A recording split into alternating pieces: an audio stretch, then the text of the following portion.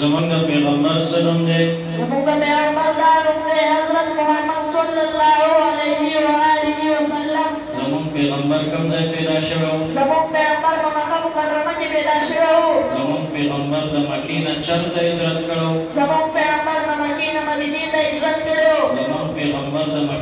مدینې ته ولې هجرت کړو زموږ پیغمبر د مکې نه مدینې ته ځکه هجرت کړی و چې په مکه کې ورته کافرانو تکلیفونه رسول زموږ پیغمبر چې د مکې نه مدینې ته هجرت کولو دویم ملګری ورسره څوک و زموږ پیغمبر چې د مکې نه مدینې ته هجرت کولو دویم ملګری ورسره حضرت ابوبکر صدیق رضی الله تعالی عنه زموږ پیغمبر په مکه مکرمه کې څو کاله تیر کړو زموږ پیغمبر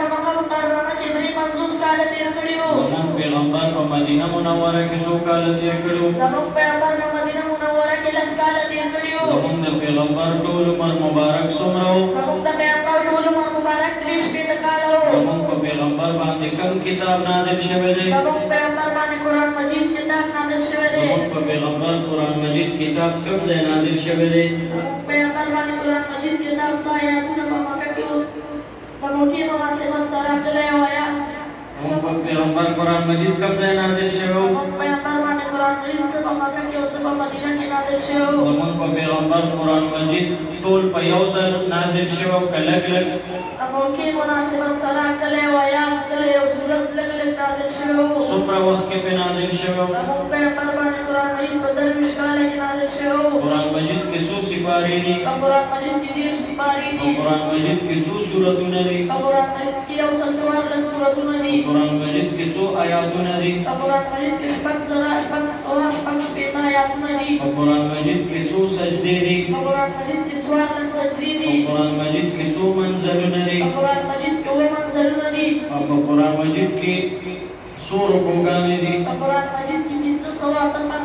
مجید مجید مجید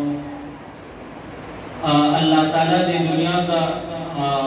ټول څومره پیغمبران را لېږلي دي الله تعالی د دنیا د مخلوق د هدایت لپاره ایک لاکھ چوبیس هزار کم او لږ پیغمبران را لېږلي دي الله تعالی د دنیا ته د ټولو نه اول کم پیغمبر را لېږلی دی الله تعالی د دنیا ته د ټولو نه اول حضرت آدم علیه السلام را لېږلی دی الله تعالی د دنیا ته د ټولو نه آخر کم پیغمبر را لېږلی دی الله تعالی د دنیا ته د ټولو نه آخر زموږ پیغمبر حضرت محمد صلی الله علیه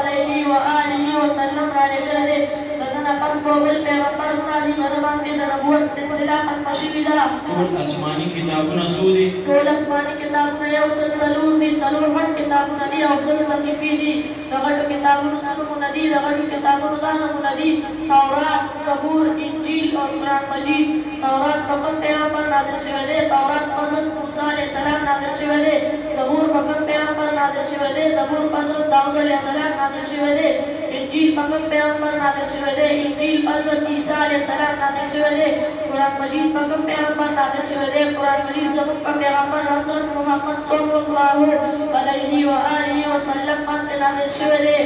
فرشتے سوک دی فرشتے دا اللہ تعالی نورانی مخلوق دے فرشتے سمر دی دا فرشتو شمار دا اللہ تعالی نا بغیر بلین چاہتا معلوم ندے مقرب و مشعور فرشتے سو دی مقرب و مشعور فرشتے سلو دی حضرت مکائل علیہ السلام حضرت ابراہیل علیہ السلام حضرت اسرافیل علیہ السلام حضرت اسرائیل علیہ السلام بیو بھر حضرت مکائل علیہ السلام حضرت جبرائیل علیہ السلام حضرت اسرافیل علیہ السلام حضرت اسرائیل علیہ السلام من د کوم امام په مذهب یو من د امام ابو حنیفه رحمۃ اللہ علیہ په مذهب یو من د امام ابو حنیفه سے خپل نوم څنګه من د امام ابو حنیفه ته خپل نوم رومان کې ثابت وو او روټۍ ته چکینو روټۍ ته چکینو لاس په زور په او چوو نو په سړو لا دعا وایو بسم الله وعلى برکت الله دا دوار نه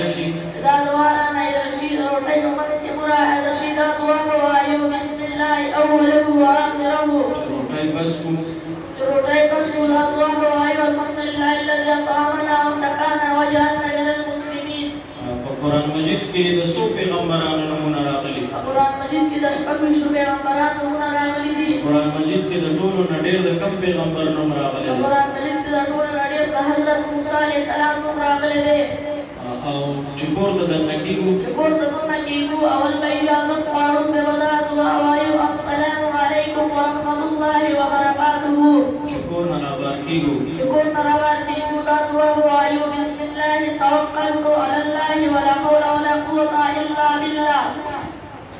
العلي العظيم جودكيبو جودكيبو ذات وهو أيو اللهم باسمك أموت العافية شخوب كيو يريكو شخوب كيو يريكو أرحب بدلك ذات وهو أيو أعوذ بالله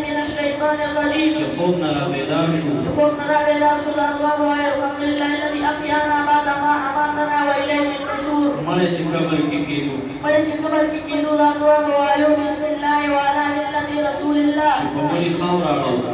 وقولي بان خاورا قولا الله ويو منها خلقناكم فيها ميدكم ومنها نخرجكم تارة أخرى أو جسم مصيبت رابان رسول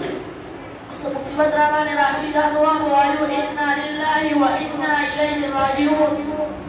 چې څو خپل سيزو وینو چې څو خپل سيزو وینو دا دعا وایو ماشاء الله لا قوت الا بالله او چې د خر اواز وارو د خر اواز وارو دا دعا وایو اعوذ بالله من الشیطان الرجیم جمعه ترانه نوزو جمعه ترانه کې ګور پای وو مخ کې بولا دعا وایو اللهم افتح لي ابواب ورحمتك جمعات کې چې کینو جمعات کې کینو لا دعا وایو نو وایو لسنت الاعتکاف ما دم فی هذه المسجد جمعات نه باقیو جمعات نه باقیو که سمبر مکه کو لا دعا وایو اللهم انی اسالک من فضلک چې ګاډي کې سوري کو ګاډي کې سوري کو دا دعا وایو بسم الله مجریها ومرساها ان ربی لغفور رحیم چې خپل منزل ته ورسیږو خپل منزل ته ورسیږو دا دعا وایو اللهم بارک لنا فيها چائنکی گورو چائنکی گورو دادرا وایو اللهم انت حسن خلقي وحسن خلقي او د چغلای بارک د عليه علیہ السلام یو حدیث وایا قال رسول الله صلى الله عليه وسلم نبی علیہ السلام فرمایل لا يدخل الجنة جنة من داخله قطاع شغل خور ولي بارك النبي عليه السلام يوم حديث وایا قال رسول الله صلى الله عليه وسلم نبی عليه السلام فرمائل لا يدخل الجنة جنة من داخله قاطع رشتہ داری کرتا ان اعمال دار مدار دار بارك يوم حديث وایا قال رسول الله صلى الله عليه وسلم